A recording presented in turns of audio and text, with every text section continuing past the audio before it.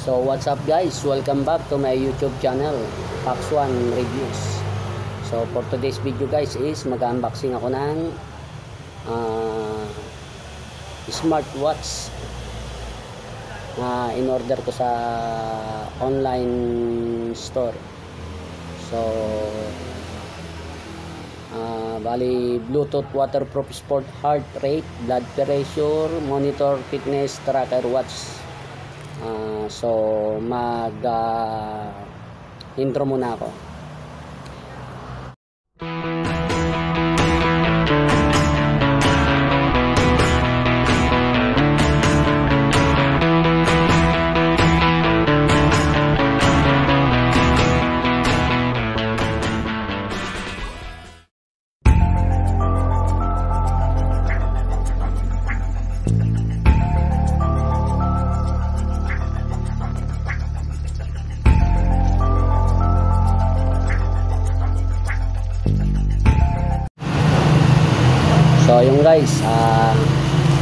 Pala yung in-order ko, ayan.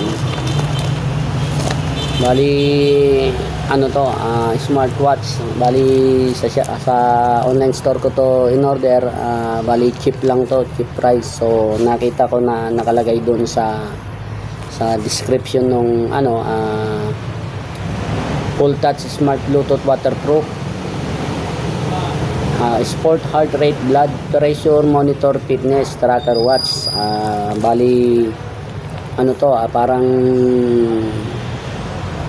smartwatch pero cheap cheap price lang tong pagkakabili ko nito. So ang model nito is FD68S. So siguro parang ang meaning ng FD is full display. So tara guys, buksan natin tong parcel ko buksan. Sa ibaba.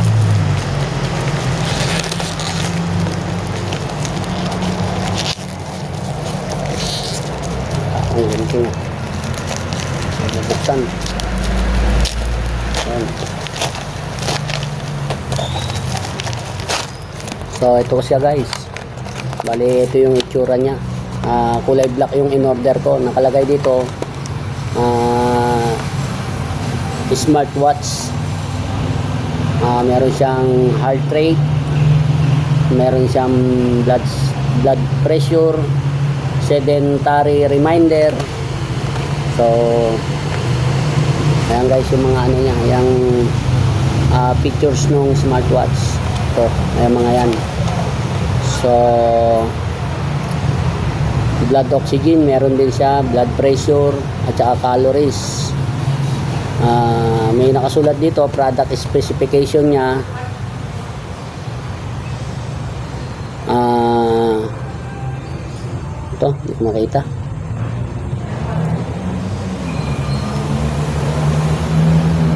May alarm siya. Yung weather not supported siya. Messaging yes. Phone book not supported. Clock meron siya clock meron siya. Ah, calendar setting remote remote capture. Bluetooth music not supported. Remote ano remote notifier yes. Sedimentary reminder yes. Sleep monitor yes. Ah, heat. Ah, meron din siyang ano blood pressure step, calorie, KM, sport, quick response, find my device, and app support nga iOS 9.0 Android. So, siguro ang dami niyang ano, ang dami ang spec niya, napakano pero 218 ko lang to nabili sa online. So tignan natin kung yun talaga yung ano niya. Kung ganun talaga ang ano na ang spec niya sa ano sa actual. So guys, ito yung strap niya. Ganto rin yun nasa ano nila, ang tawag nito ah nasa ads nila sa pinaka online apps. Yan. So, ang sabi roon, hindi, maraming comment doon sa ano na hindi kagad siya gagana kasi lobat siya. So, sabi kailangan i-charge daw. Pagka tanggap mo, i-charge mo kaagad. So, ito yung charging ano niya. So, hindi mo hindi mo kailangan ng charging cable. So, direct mo tong i-charge sa pinaka ano, ah pinaka charging yung ano ng charger. Ito, saan ba yun? Meron ako rito eh, sa cellphone ko eh. So, hindi mo siya kailangan ng charging cable. So, ganito siya. Ida-direct mo siya rito. Yan. So, ganyan. Tapos, i-charge mo na siya. So, tatry natin. Kailangan daw i-charge kasi lobat na lobat siya. So, walang pinadala yung... So, meron siyang ano rito sa likod oh, parang sensor. Siguro yun yung mag-ano ng ano mo, ng BP mo. Or ewan ko kung ano yan. So, guys, ah... Tayo? itatry natin siya ngayon i-charge dali may meron tayong charging dito guys punta tayo doon sa pagsasaka saksakan natin na ang charger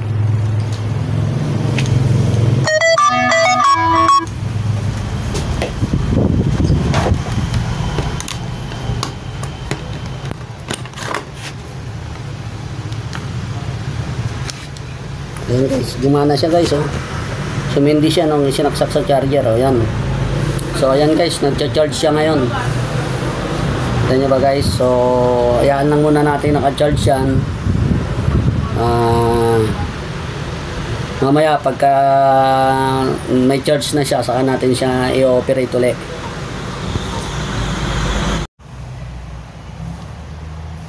So ayun guys, bali na-charge ko na siya. Ito na yung ano niya. Ah, na full charge naman siya. So bali parang isang oras ko lang yata siyang sinarge yan guys. Ayun yung bar niya sa taas. So kailangan itatap mo lang siya dito sa bandang ibaba. Yan so dito mo siya itatap guys para gumana siya. Yan bali meron siyang Ang gumagana yung music niya yan, nagana yan guys. Tapos yung oras. Ayun, 15:14. Bali yung 15:14 is 3:14 guys. Yan yung heart rate niya. Kasi meron siyang spec na magagamit mo siya sa sa heartbeat mo at saka sa blood pressure. Yan, tapos pagka ambawa, nag-exercise ka or nag-sports ka, ah meron din sa mga counter dyan. Pambilang ng, ito ano ba to? Labo ng cellphone ko. Music, ayan, more. Meron pa dyan. Na, bali, long press mo lang yan, mga 2 to 3 seconds. Ah, magpapalit na yan ng ano. Yan. May camera din siya. Yung camera hindi gumagana guys or hindi ko pa na-try guys kung gumagana yung ano yung sa camera tapos pag i-reset mo ang bawa napuno na yung mga ano mo ito yung on off niya. Yan. Bali dito mo siya pipindutin guys sa gilid lang na to. Yan oh. Yan yung oras.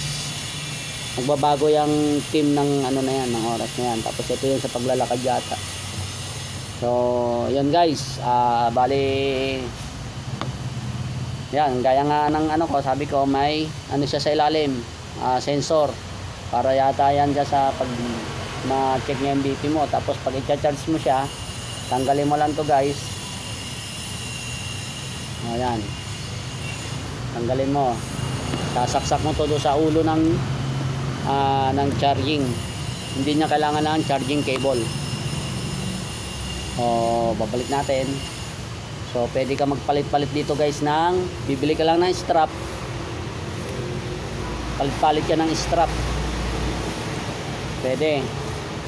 So, ito yung mga spec niya guys. So, hindi nyo mababasa. So, pabalik rin natin yung ano ng camera natin para kayo na mismo makabasa ng ano. So ayun guys, ah bali kailangan pala siyang i-connect sa ano sa sa cellphone apps. So magda-download ka ng Fit Pro. So meron siyang ano guys, ah tawag nito, ah ano ba yan? Ito guys, meron siyang kasamang manual. So dito sa manual guys, merong QR code. So scan mo yung QR code na yan para mapunta ka doon sa apps na Fit Pro.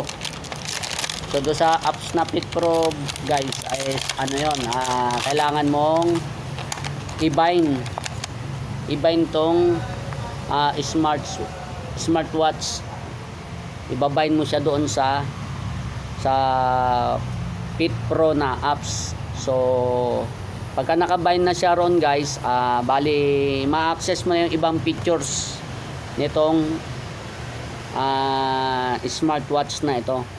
So ayun guys. Ah, pag nabind mo na siya, yun nga, tatama na yung ano niya, yung time niya at saka date kasi hindi pa nakatama yung date and time niya pagka hindi mo pa na ibabind doon sa Fit Pro na apps. So, bali magkakaroon ng connection yung cellphone mo at saka yung smartwatch pagka nakabind na ibind mo na siya. So, yun nga. So, kailangan talaga ma- ma-bind mo yung smartwatch mo sa Fit Pro. So siguro pagka sa sa ibang video baka ipakita ko kung paano ko ginawa yung pagbind kasi nahirapan nahirapan ako sa ano nung una. So hindi ko malaman paano ko siya ibabind.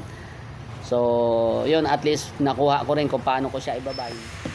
So ayun guys dahil nga ano siya ah uh, nito ah cheap cheap uh, smartwatch siya. So hindi siya original. So maraming uh, function na hindi gumagana sa kanya. Hindi kagaya ng mga original na smartwatch is uh, full function siya. Ito meron mga unsupported dito. Kagaya niya nakalagay weather not supported. Uh, phone book bluetooth music.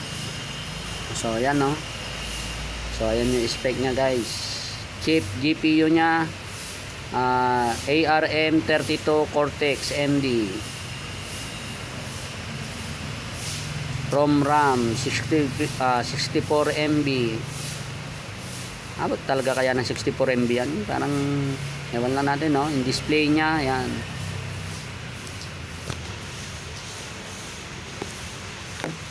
So not supported yung software